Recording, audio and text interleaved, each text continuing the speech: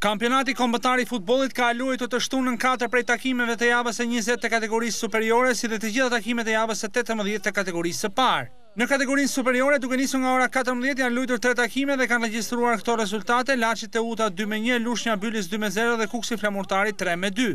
Ndërsa duke nisur nga ora shtatëmbëdhjetë është luajtur në Korçë ndeshja Skënderbeu-Kastrioti, që është fituar nga vendasit me rezultatin dy me zero. Dy ndeshjet e tjera të kësaj jave luhen të dielën dhe duke nisur nga ora trembëdhjetë Vllaznia pret në Shkodër Partizanin. Kurse duke nisur nga ora tetëmbëdhjetë Tirana përballet në kryeqytet me Besën në ndeshjen që do të sillet për sportdashësit drejtpërdrejt dhe ekskluzivisht nga rrjeti i Radiotelevizionit Shqiptar. Renditjen e Kategorisë Superiore e kryeson Skënderbeu me dyzet e një pikë, i ndjekur nga Laçi me tridhjetë e një, Kukësi dhe Partizani me nga tridhjetë pikë, Teuta me njëzet e nëntë dhe Besa me njëzet e tetë pikë.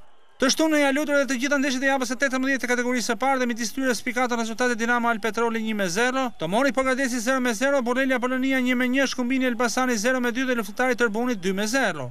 Renditjen e Kategorisë së Parë e kryeson Elbasani me tridhjetë e nëntë pikë, i ndjekur nga Apolonia me një pikë më pak dhe Dinamo me tridhjetë e katër pikë.